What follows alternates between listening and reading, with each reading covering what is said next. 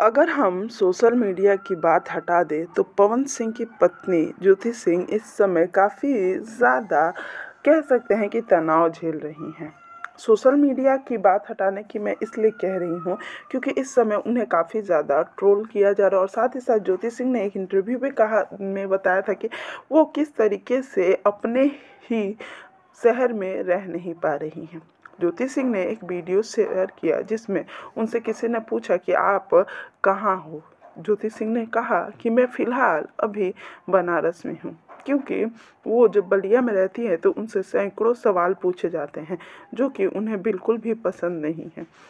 ज्योति सिंह और पवन सिंह का रिश्ता भले ही टूट रहा है, लेकिन इसका बड़ा ही गहरा असर इन दोनों की ज़िंदगी में पड़ रहा है। पवन सिंह और ज्योति सिंह इस महीने के लास्ट तक लगता है कि अलग हो ही जाएँगे।